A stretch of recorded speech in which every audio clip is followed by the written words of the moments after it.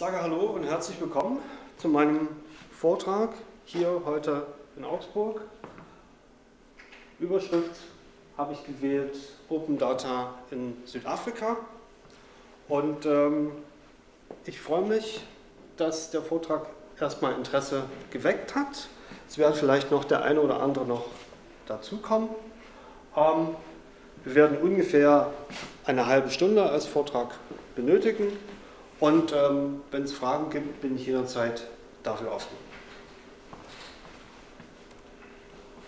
Ähm, mein Name ist Frank Hoffmann.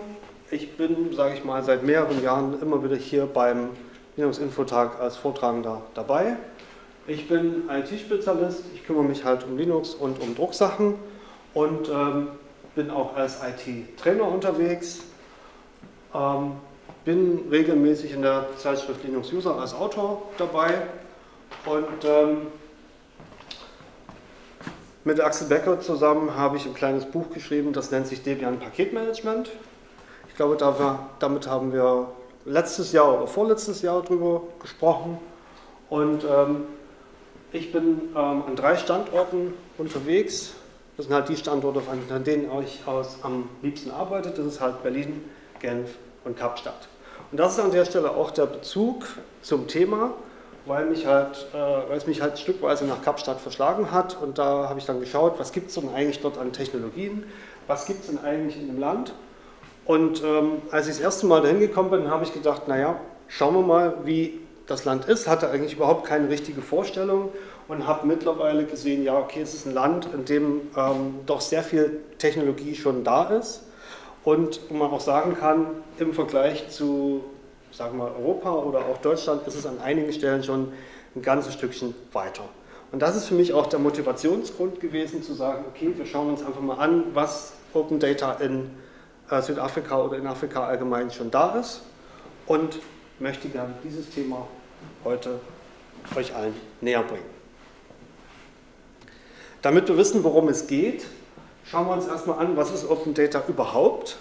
Und die Idee, die da dahinter steckt, ist, wir haben ähm, Daten, die offiziell oder die, die uns allen zur Verfügung stehen.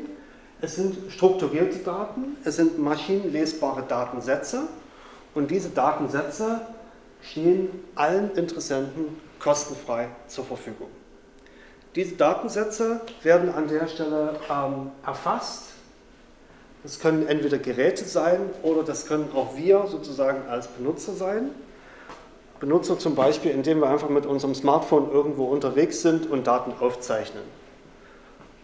Dann haben wir äh, natürlich noch die, die Aufgabe, diese Daten irgendwo zu kennzeichnen. Also wie dürfen diese Daten verwendet werden?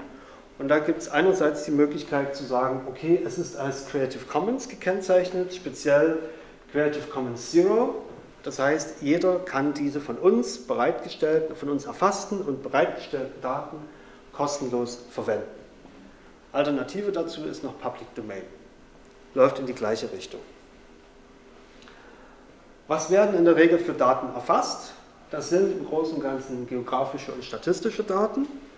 Das kann zum Beispiel Bebauungsdichte sein, das können Gemeinde- und Ortsgrenzen sein, das kann aber auch ein durchschnittliches Einkommen sein, das kann Bevölkerungsdichte sein, aber auch eine Unfallhäufigkeit. Ein Beispiel, was ich hier gleich mitgebracht habe, das ist diese Karte hier unten.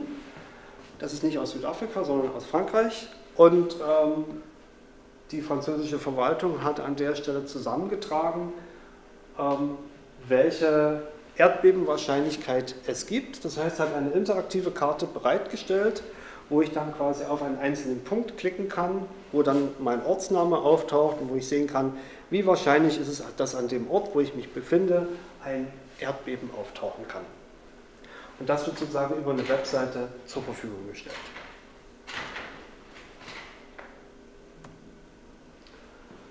Jetzt schauen wir uns nochmal an, wie, wie kommt Open Data eigentlich zustande. Ich hatte schon gesagt, es wird an der Stelle quasi erfasst und erfasst heißt an der Stelle, es gibt drei Datenquellen, die an der Stelle eine Rolle spielen.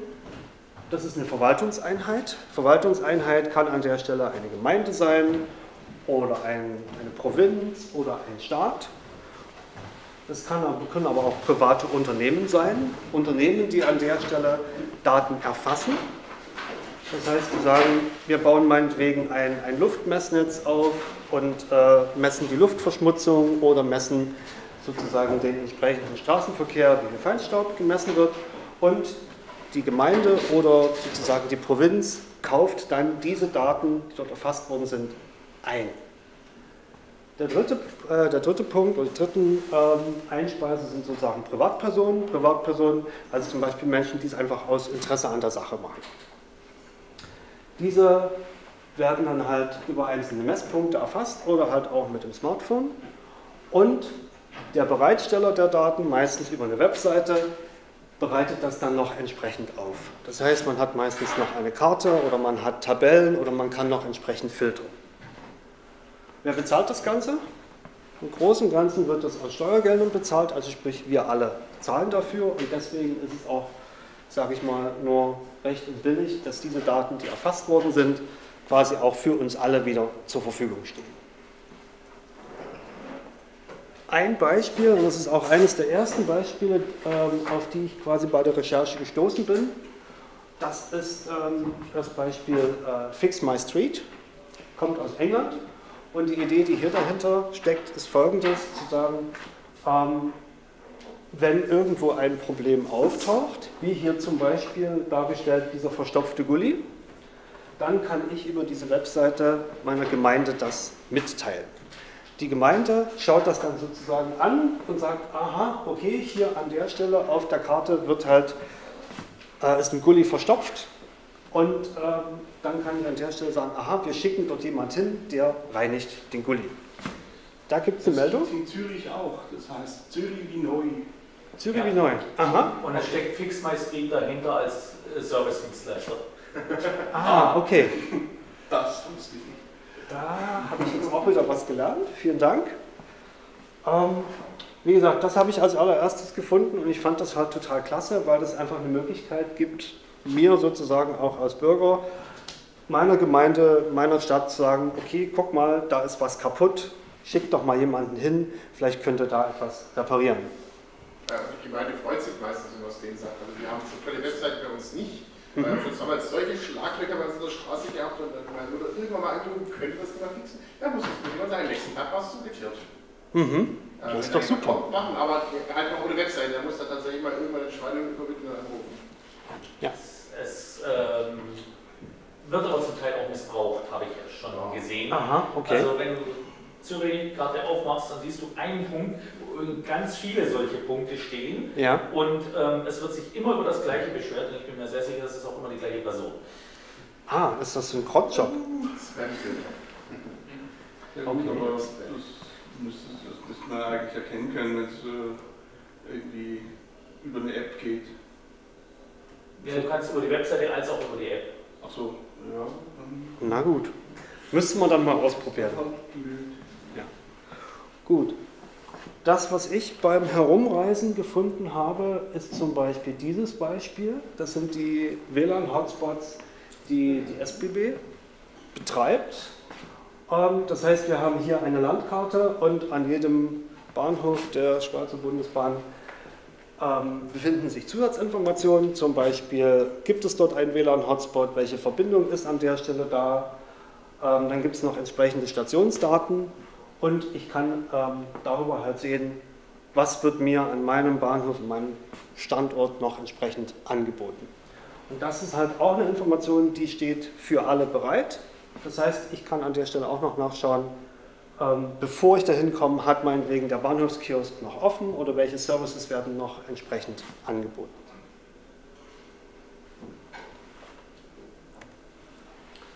Wie stehen die offenen Daten bereit?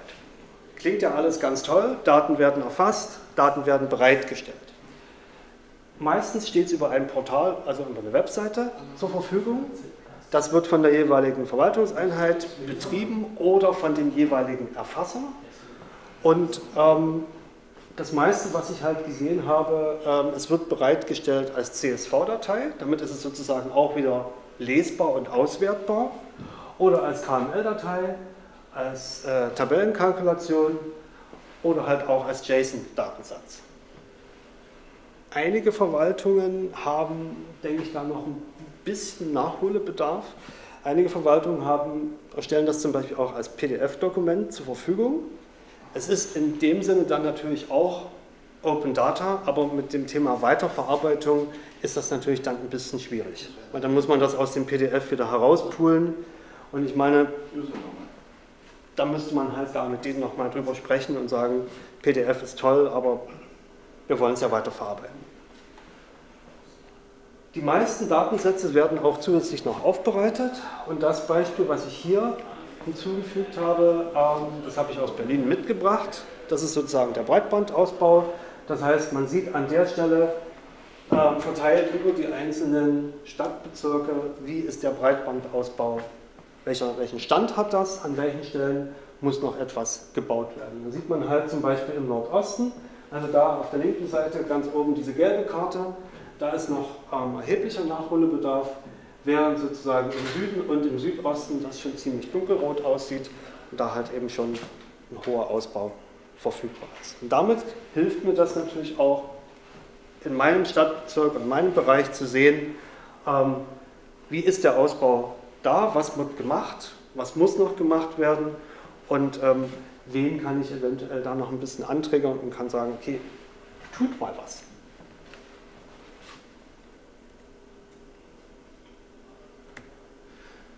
Wer darf das Ganze benutzen? Ich habe gesagt, es steht kostenlos zur Verfügung und es steht allen zur Verfügung. Das betrifft in jedem Fall Privatpersonen. Das heißt, wir dürfen es verwenden, wir dürfen es herunterladen, wir dürfen an der Stelle etwas Eigenes bauen und es gibt an der Stelle keine Einschränkung. Wenn wir das als Unternehmen benutzen wollen, meinetwegen für unsere eigene Anwendung, dann müssen wir an der Stelle nachschauen. Das hängt vom Portal ab, das hängt von den verfügbaren Daten ab. Da muss man auch nachgucken, unter welcher Lizenz steht das Ganze, wie ist das Ganze, wie wird es bereitgestellt, welche Einschränkungen gibt es und in welchen Projekten darf ich es gegebenenfalls nicht verwenden oder muss dann halt sozusagen sicherheitshalber nochmal rückfragen, dass ich es benutzen darf. Ein Projekt, was mir unglaublich gefällt, was sozusagen aus Deutschland kommt, das äh, läuft unter dem Thema Mundraub. Und Mundraub ist eine OpenStreetMap-Karte. Und auf dieser OpenStreetMap-Karte sind alle Obstbäume und alle Kräuterorte etc. verzeichnet. Ähm, ich habe hier mal beispielsweise das Ganze für, für, für Brandenburg stehen.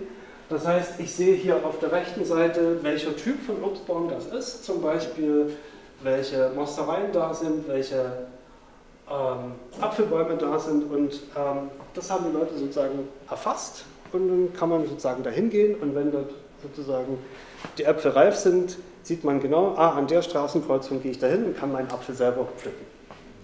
Und das ist eine super Geschichte und ich finde das halt ähm, spannend und hoffe, dass das auch noch stärker sozusagen ergänzt wird. Ich habe das selber nicht ausprobiert, ich weiß nicht, ob die Information stimmt, aber ich gehe davon aus, da es eine OSM-Karte ist und freie Information, dass die richtigen Informationen auch drinstehen. Nicht, dass man dann hinfährt und sozusagen hungrig umkehren muss.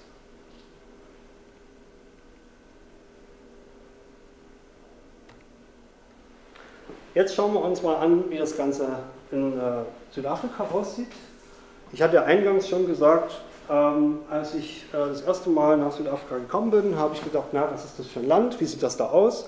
Hatte mehr oder weniger keine so große Vorstellung und habe dann relativ schnell gelernt, die sind an einigen Stellen schon sehr, sehr weit, teilweise auch weiter als wir. Hier habe ich ähm, eins herausgesucht, das nennt sich Open Data for Africa. Und äh, diese Karte zeigt an der Stelle aus, wo ist denn eigentlich Internet verfügbar? Das heißt, wie viele Nutzer gibt es denn eigentlich? Die dunkleren Gebiete heißt, dort ist relativ wenig Internet verfügbar, also gibt es relativ wenige Nutzer und alles, was quasi heller ist, da haben wir hier eigentlich schon eine relativ große Abdeckung. Und ähm, was ich halt gemerkt habe, ich habe das halt in den letzten zwei Jahren ziemlich fleißig testen dürfen, ähm, wenn man in Afrika unterwegs ist, hat man eigentlich überall in irgendeiner Form ein schnelles Internet. Es funktioniert, ganz im Gegensatz zu hier, wo man halt dann schon mal merkt, ja, manchmal gibt es eine Datenverbindung und manchmal ruckelt das dann doch etwas.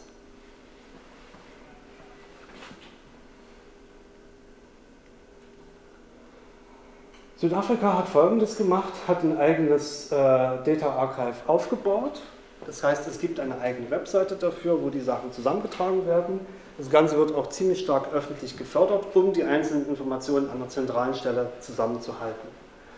Und das, was ich hier gezeigt habe, ist, ähm, oder was ich hier zeige, ist äh, das South African Data Portal, wo an der Stelle zum Beispiel für die einzelnen Provinzen oder einzelnen Regionen Informationen zusammengetragen werden. Hier zum Beispiel, welche Bevölkerungsverteilung da ist, wie äh, das Verhältnis zwischen ähm, den einzelnen Gruppen ist und das natürlich nochmal auch verteilt auf die einzelnen Provinzen. Das steht quasi alles über die einzelnen Webseiten zur Verfügung. Aufbereitet und also erfasst und aufbereitet wird es mit dem kommerziellen Dienstleister, der halt das Ganze ähm, zusammenträgt und die Verwaltung kauft das sozusagen als kompletten Datensatz von diesem kommerziellen Dienstleister. Und das Ganze wird dann in diesem Portal nutzbar.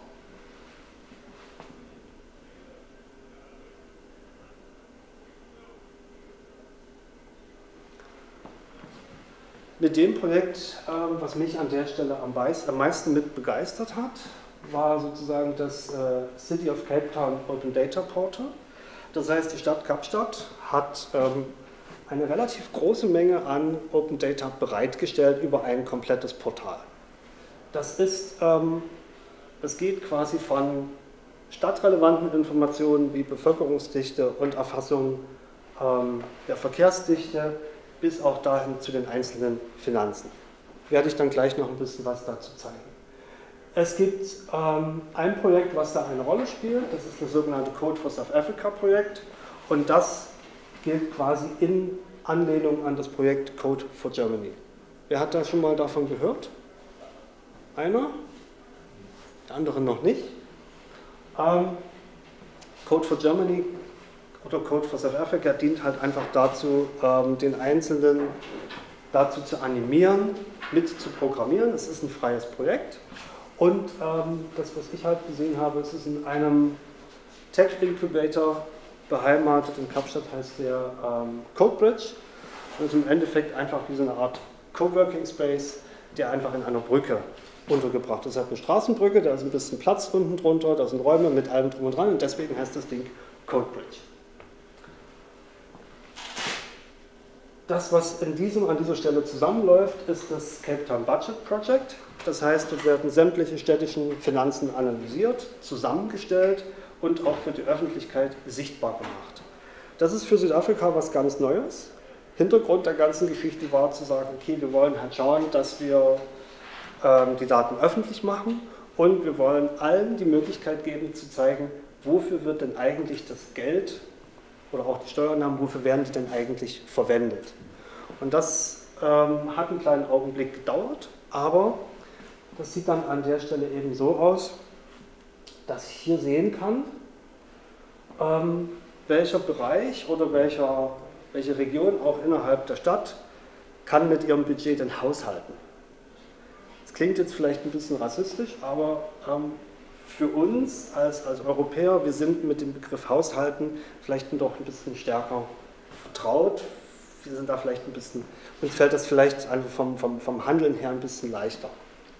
Und hier sieht man an der Stelle, ähm, die grünen Balken sagen halt, okay, da ist ähm, das innerhalb von einem, bestimmten, von einem bestimmten Bereich genutzt worden und dann sieht man hier unten an der Stelle auch, aha, wie viel Geld ist denn eigentlich verwendet worden? Also sprich, 2,2% sind weniger verwendet worden als ursprünglich geplant. Und das sieht man eben auch, man kann an der Stelle halt sehen, hat die Verwaltung mit dem Geld, was sie eingenommen hat, gut gehaushaltet oder hat sie nicht gut gehaushaltet. Das Ganze geht sogar so weit, dass ich nachschauen kann, wofür ist Geld vorgesehen. Und dann kann ich halt rauskriegen, warum wird meine Straße nicht repariert und wo geht das Geld an der Stelle hin. Wird in meinem Stadtbezirk eine Schule gebaut, wird sie repariert, ist das Geld dafür da oder wenn ja, ähm, oder wenn nein, wann soll das Ganze repariert werden. Und das ist eine Sache, die wünsche ich mir eigentlich auch für Städte hier in Deutschland, dass ich halt einfach sehen kann, wann plant die Verwaltung welche Sachen, mit welchem Geld wird das gemacht und wann steht das Ganze zur Verfügung. Wer war korrupt? Bitte? Und wer war korrupt? Ich glaube, hier aus den Daten geht erstmal nur hervor, wann welches Geld verwendet wurde und wer das Ganze wie bekommen hat, das ist nicht ganz so offensichtlich. Dann habe ich hier noch etwas zusammengetragen, das geht zum Thema Wasser. Wer hat es an der Stelle mitbekommen? In Südafrika gab es in den, innerhalb der letzten Jahre einen stetigen, sage ich mal, Wassernotstand.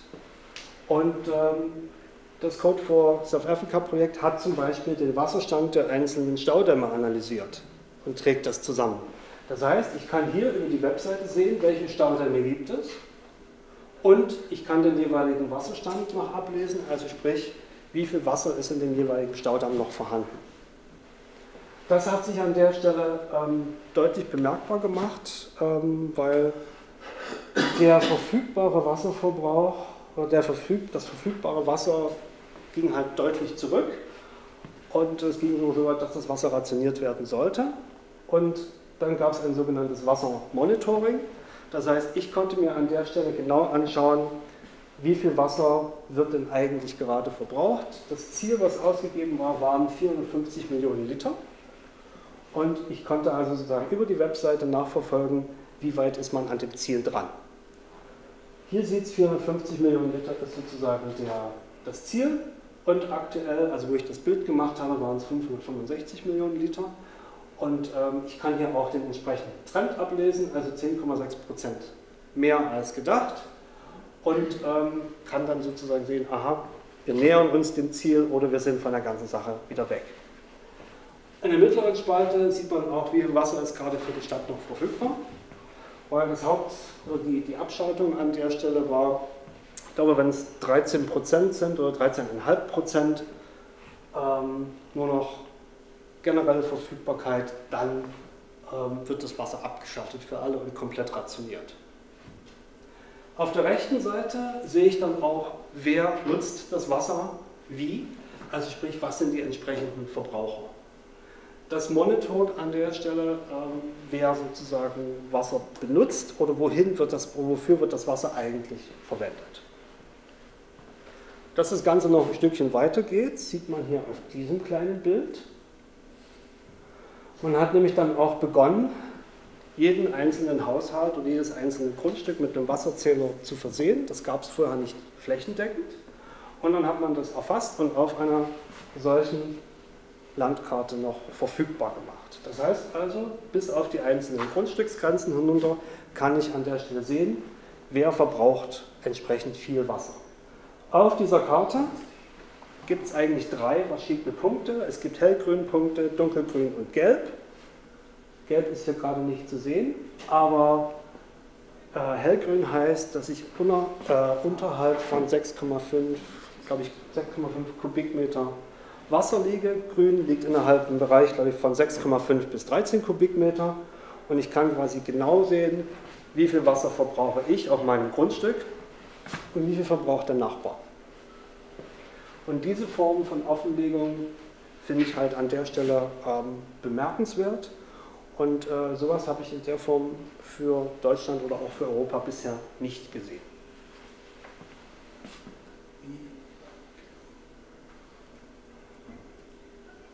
Dann kommen wir noch zu einem für uns als IT-Menschen recht nützlichen Dingens. Das nennt sich ähm, der Wi-Fi-Bereich.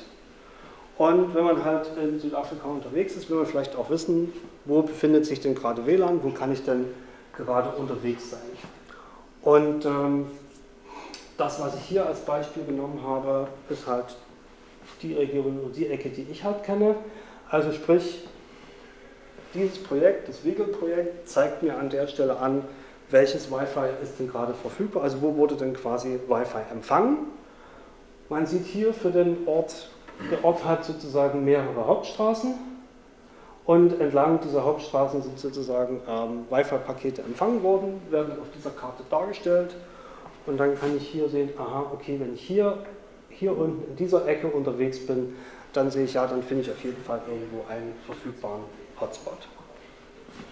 Ich kann das Ganze auch noch ein Stückchen stärker aufschlüsseln. Das heißt, ich sehe hier an der Stelle noch einen entsprechenden Graphen dazu über die äh, Nutzung, also welche Datennutzung kam dann an der Stelle vor. Und ich sehe auch zusätzlich noch, welche Verschlüsselung wurde an der Stelle verwendet. Also wie ist das Ganze abgesichert für mich. Und das ist, ähm, denke ich mal, nicht nur als Besucher wichtig, sondern auch, wenn man sich dort unten längerfristig bewegt, weil man will ja schließlich sicherstellen, dass nicht jeder seine Daten mitliest.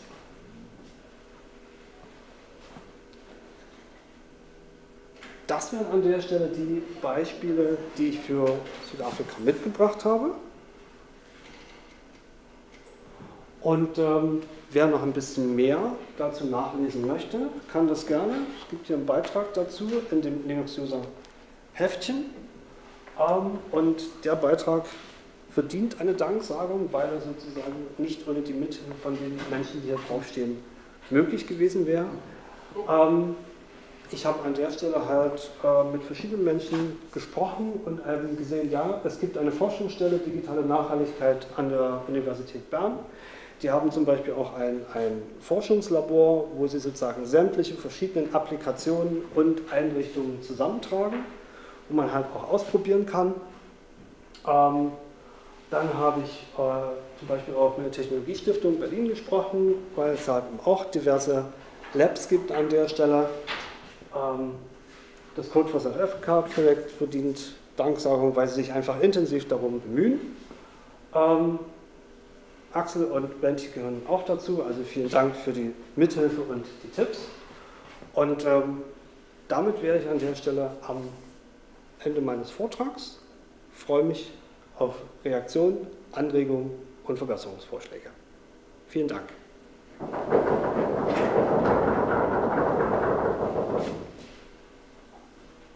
Ähm, die Portale greifen die direkt auf die Datenbasen zu oder werden die vorher nochmal runtergeladen und verdichtet oder wie muss ich mir das vorstellen? Soweit ich es gesehen habe, sind das separate Datenbasen.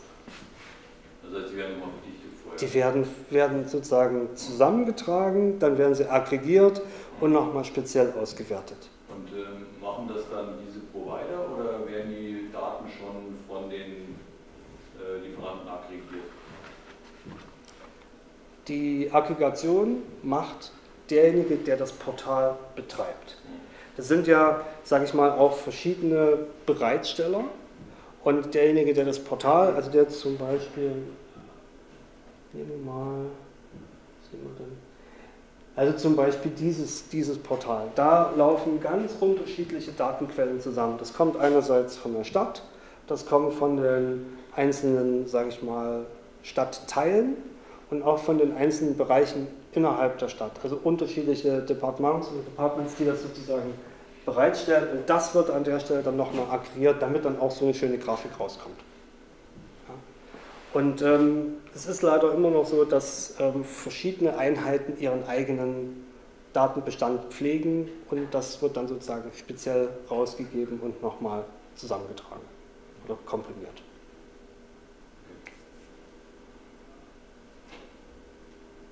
Gibt es noch weitere Fragen?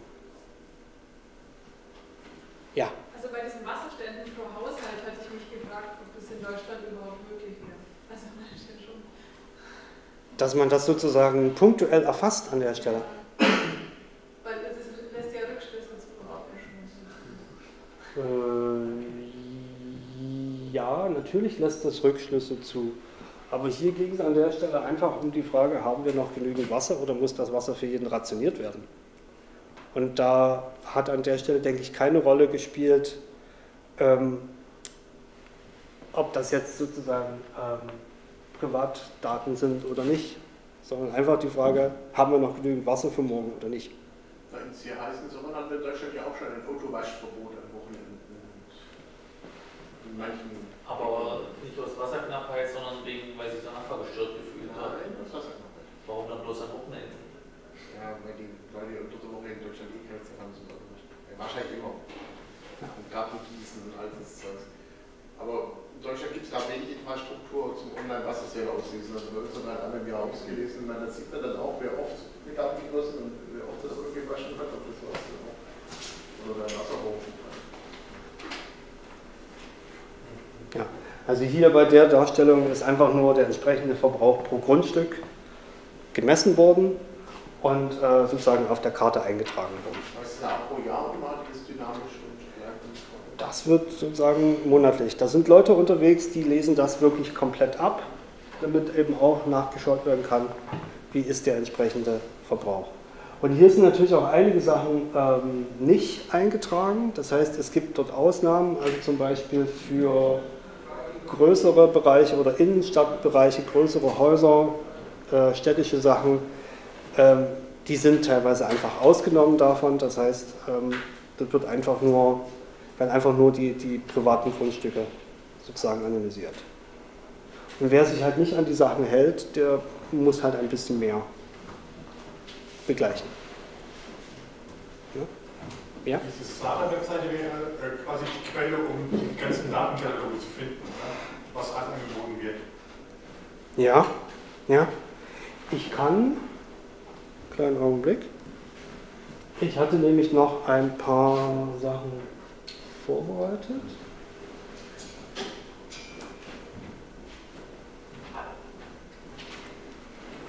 Also hier habe ich zum Beispiel ähm, noch etwas vorbereitet.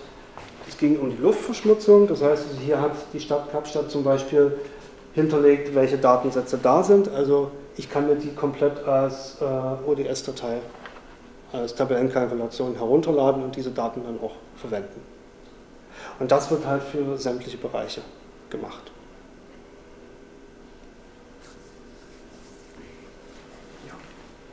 Ist denn CC0 üblich oder, oder haben die auch meistens eine äh, Beiklausel, also Namensnennung? Die meisten Sachen sind als CC0 gekennzeichnet. Es steht bei vielen Sachen natürlich drunter, wer hat das Ganze erfasst und wer hat das Ganze bereitgestellt, aber im Großen und Ganzen wird es als CC0 einfach bereitgestellt, sodass ich das einfach komplett nutzen kann.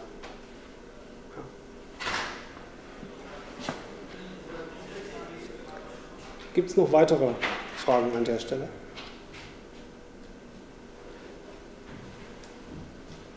Gut, dann bedanke ich mich nochmal. Ich bin sozusagen heute noch da und wenn es noch Fragen und ähnliche Dinge gibt, wenn es auch später noch dazu kommen, einfach mich ansprechen. Vielen lieben Dank.